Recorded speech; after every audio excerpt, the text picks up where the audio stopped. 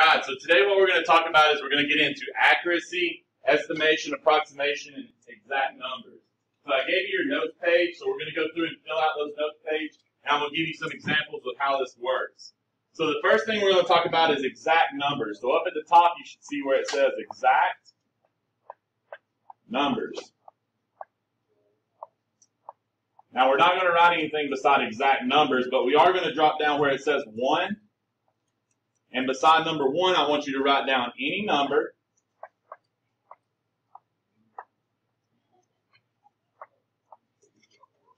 obtained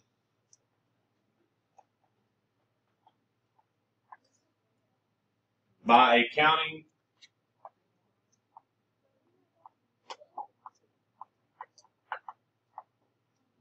process.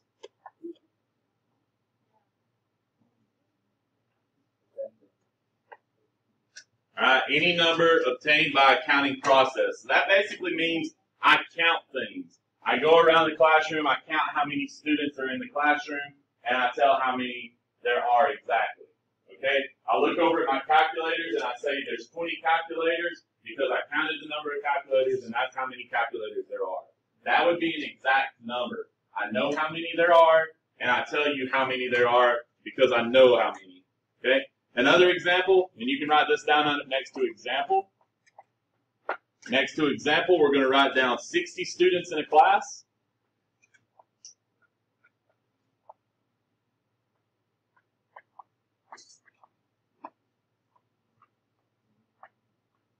Sixty students in a class, and in this case, the number would be exactly 60 students because we count how many students we have. We go one, two, three, four, five, all the way up to 60, and we know that 60 students are in the class. So we know how many there are, and we say how many we are, so that's an exact number. Now, exact numbers can be have really two definitions. We could have one, or next to number two, you can write down any number given by definition. That's the definition for this as well. Any number given by definition.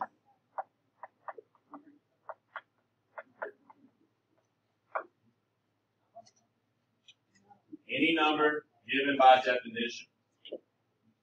So, an example of this, any number given by definition, an example for this would be if we were looking at a conversion. Let's say the conversion was one hour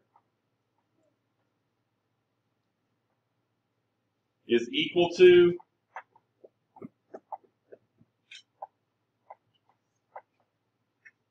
sixty minutes.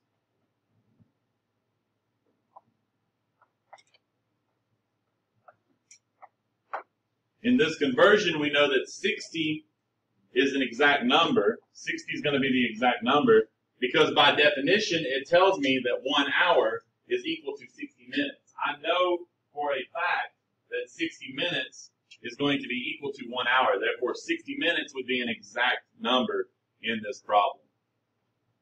So, with exact numbers, you got to keep in mind we're looking for two things. We're looking for any number obtained by the counting process or any number given by definition. So those are two easy definitions for exact numbers. Next, we're going to look at approximation. So go ahead, up at the top, identify where approximation is. So that's going to be approximation.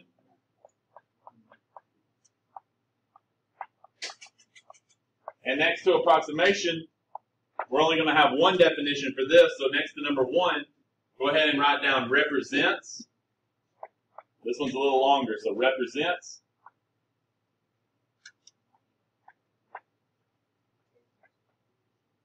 The value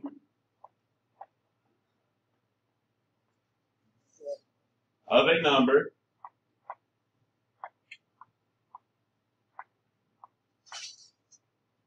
when the exact value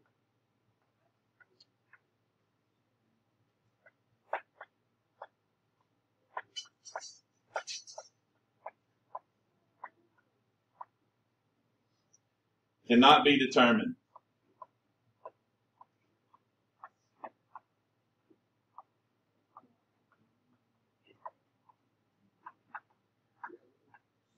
All right, so the definition for an approximation is represent. It's a number. It's when we represent the value of a number when the exact value cannot be determined. This is also what we determine or call a guess. All right, a lot of people say, I'm guessing that's the number, or I'm guessing this is the value. Okay, so a lot of times with approximations, we're basically going to guess to determine the number value because we do not know the number value. Now, a couple examples that I like to use. If I look around the room, I look around this classroom, I know that there's approximately 30 desks. All right. Now, I don't know how many desks are in here exactly, but I know there's approximately 30. I'm taking a guess on that. I'm saying that I don't know how many desks are in here, but to me it looks like there are 30. Another example, and this example will hit a little closer to home for you. An example of this would be the distance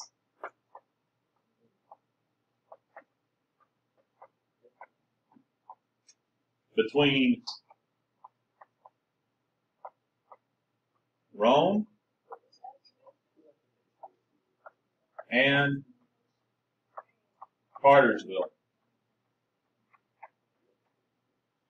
The distance between Rome and Cartersville, and we're going to say that the distance is 20 miles. That would be an example. So this would be an example of an approximation. The distance between Rome and Cartersville is 20 miles. Now, here's the thing. I don't know how far it is from here to Cartersville. But what I'm making an approximation about, or I'm guessing here, is that there are approximately 20 miles between here and between here and Cartersville. Now, could there be more miles? Yes. All right. If we looked it up, there may be more miles. Could there be less miles? Yes. So understand the distance between Rome and Cartersville isn't necessarily 20 miles, but what I do is I make a guess that it's 20 miles based on the knowledge that I have. Okay? I don't know how far it is, but I know approximately how far it will be. Okay? So like I said, with 20 miles, we're looking for the approximate distance. Alright? We're looking for something that might be a little more, a little less, but 20 is where we consider it to be, just based off of guessing. Alright, so with approximation, we have our approximation down. So the next one we're going to look at is estimation. Estimation. It should be written down for you at the top of your, or on your, about middle ways on your page there. So in estimation, it says when you know the exact number, so this is going to go beside number one, when you know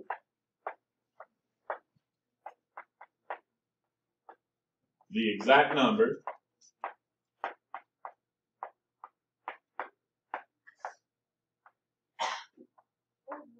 but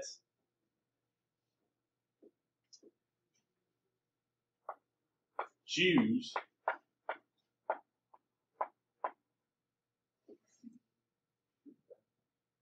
to round the number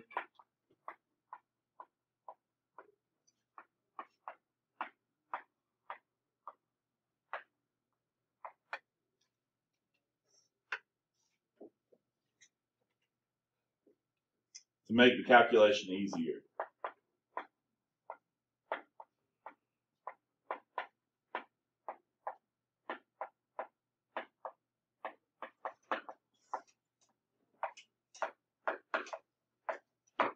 All right, so a little bit of a long definition here. Estimation is when you know the exact number, but you choose to round the number to make the calculation easier. So this is rounding. So an example of this, and the example I like to use, is that in Rome, Georgia, we know the number of people in Rome, Georgia. All right, we know that there are exactly All right, in Rome, Georgia, there are exactly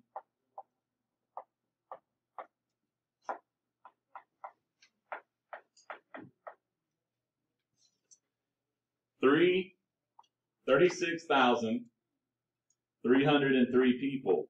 All right, so I'm telling you the exact number. So here is how the approximation or estimation works. To estimate this number, we would rather say instead of 36,303 people, we would rather round it to 400 or 40,000. Okay? because 40,000 is just a rounded number. We rounded it up here. You could round this to 40,000. You could round this to 36,000. You could round this to 37,000.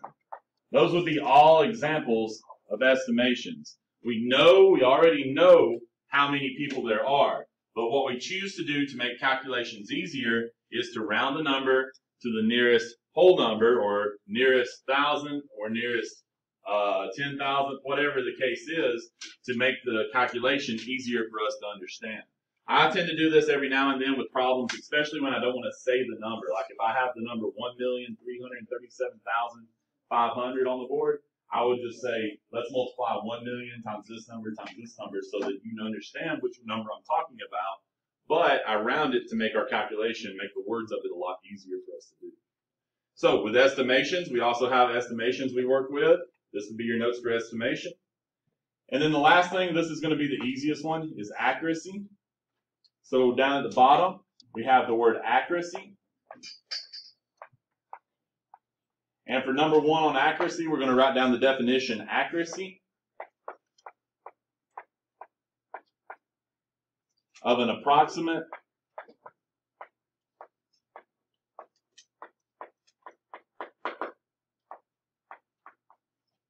number is judged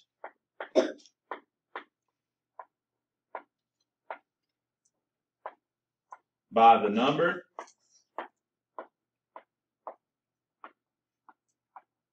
of significant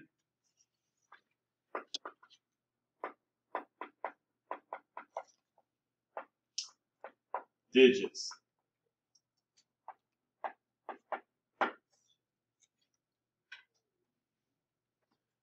Man, I misspelled digits.